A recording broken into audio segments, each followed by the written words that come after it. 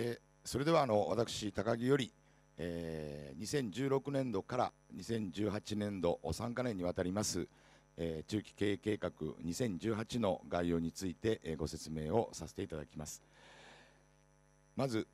2ページ目と3ページ目に、えー、おきまして、えー、終了いたしました全中期経営計画に関して、えー、振り返りをさせていただいております。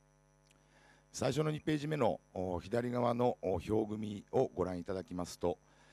セグメント別での売上及び営業利益掲載しておりますが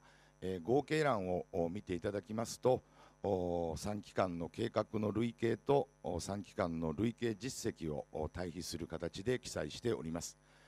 売上高におきましては若干の計画未達となっておりますが営業利益、経常利益、当期利益ともに計画を達成することができました。こういった実績を受けまして、当社としては8期ぶりになります副配を実施させていただくこととなっております。右側のグラフは各期別の売上高と営業利益の推移を計画対比で表示させていただいております。表組の下側には先ほどの決算概要のご説明でもご説明いたしました、えー、終わりました。2016年3月期末の、まあ、BS 指標とともに、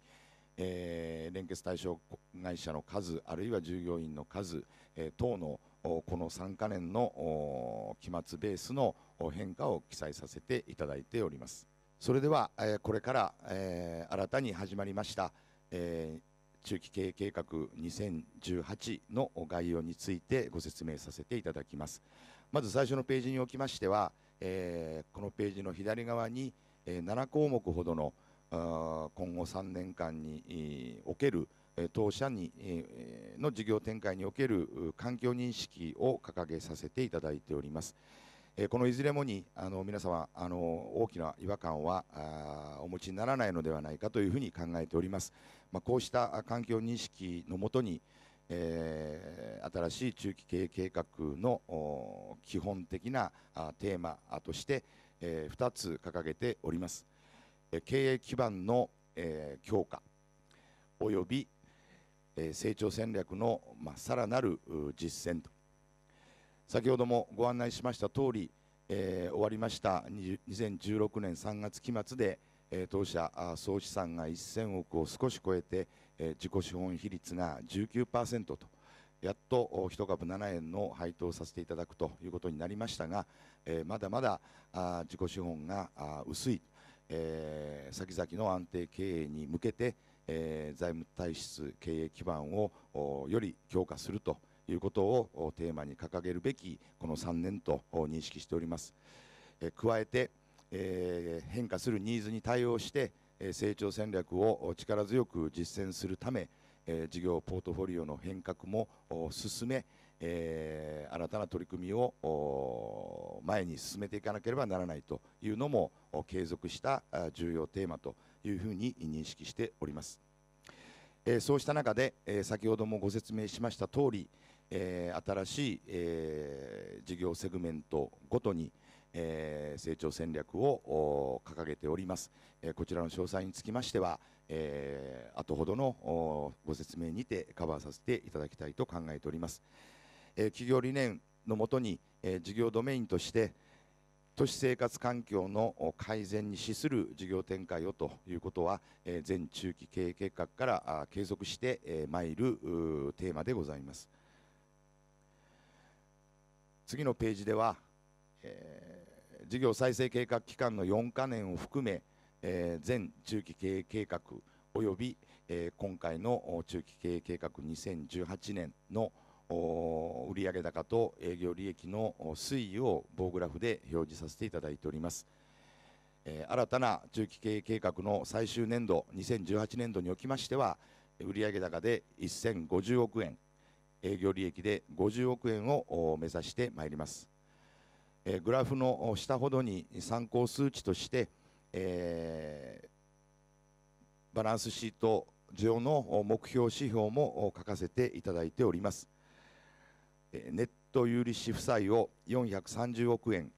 えー、自己資本を純資産290億円ネット D レシオ1.5倍というところを目指してまいりたいと考えております、総資産を大きく増加させることなく、利益性収益性を高め、自己資本比率をなんとか30%に近づけていきたい、そういうような思いを込めた数値でございます。次のページでは、新たな報告セグメント別の定量目標定量計画を記載させていただいております、レジデンシャル事業におきましては、最終2018年度におきまして売上高で525億円営業利益で30億円。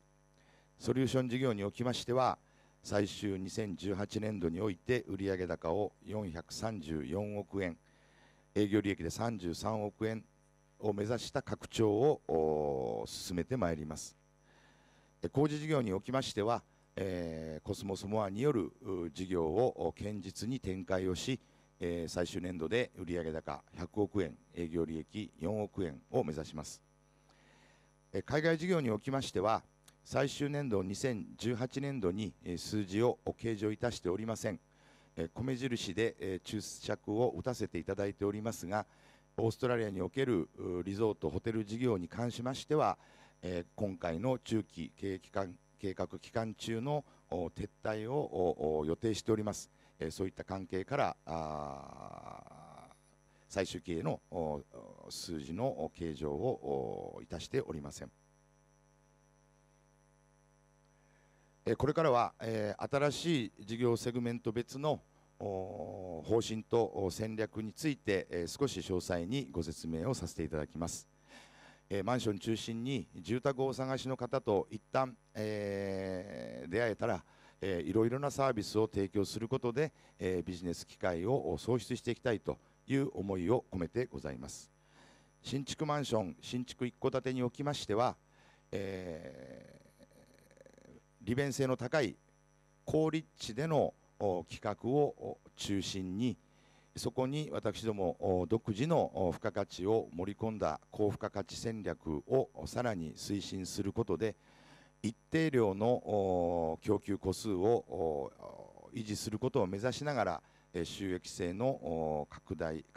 向上に努めてまいりたいと考えております。リテール仲介にリノベーションの工事のサービスも付加価値としてえ添えてということでえリテールの仲介においては最終年度で12億円の手数料の目標を掲げております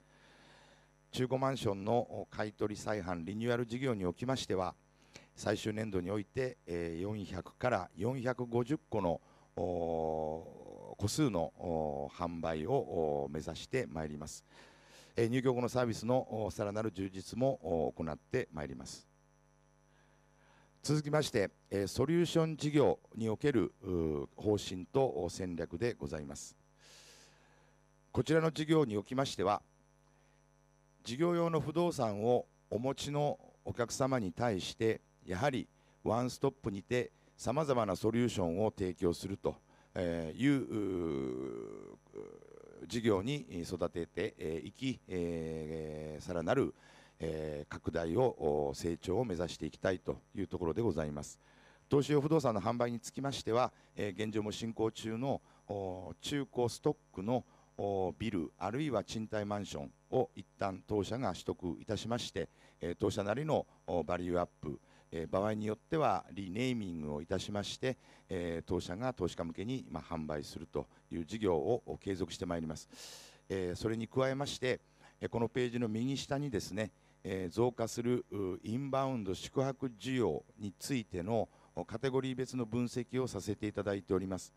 えー、多くのサービスを提供しない、えファミリーあるいは小グループ向けのえ宿泊施設というのが今日本に非常に欠落、えしております、えこういった分野があ私どものこれまでのマンションの開発あるいはマンション関連の仕事分野と非常にあの開発する建物としても近いところにございます。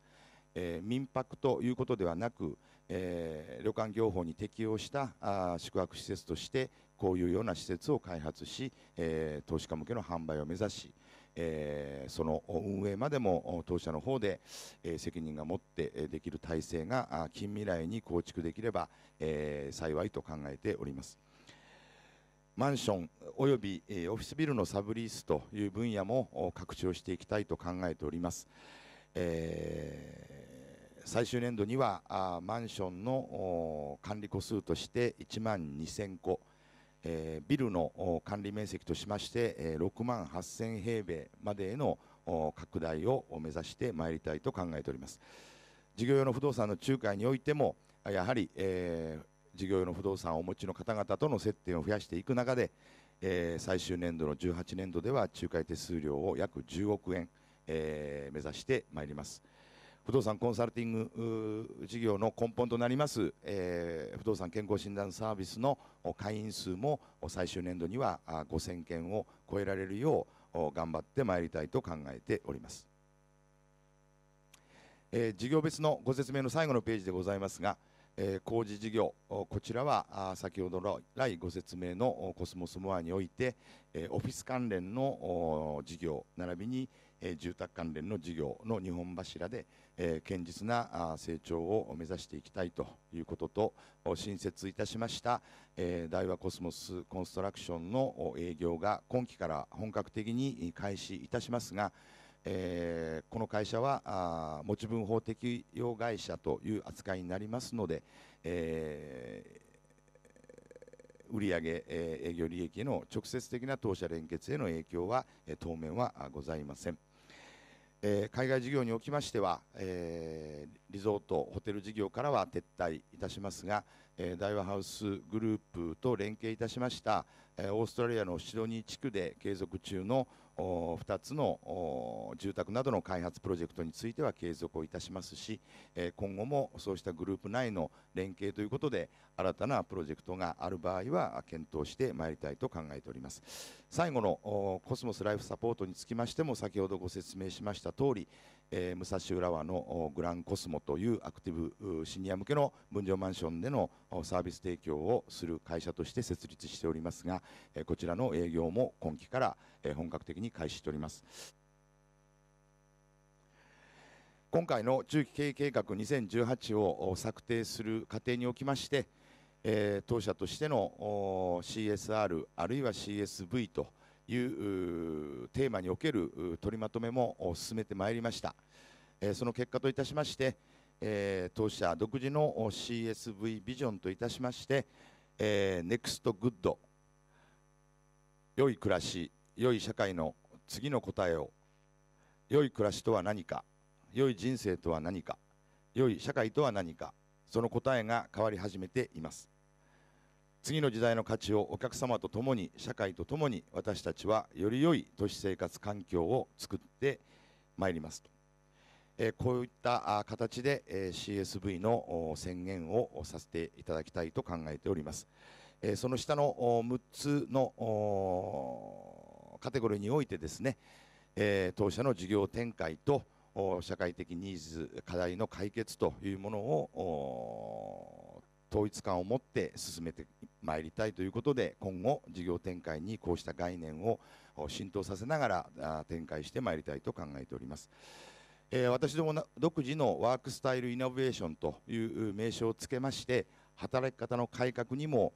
積極的に取り組んでおります、え、時代の要請でもあり、え、当社の将来の基盤となる人材の継続的な確保という点でも重要なテーマと認識しております最後のページには当社グループの会社およびその会社が大和ハウスグループ内でどうしどういった連携の関係にあるかをご参考までにお示ししております。今後ますますにコスモスイニシアグループ内のそして大和ハウスグループ内の連携関係を強化していく促進していくそのイニシアチブを当社が取っていくということで成長戦略の実践をさらに確かなものにしていきたいと考えておる次第でございます。ご清聴ありがとうございました。以上で私からのご説明を終わります。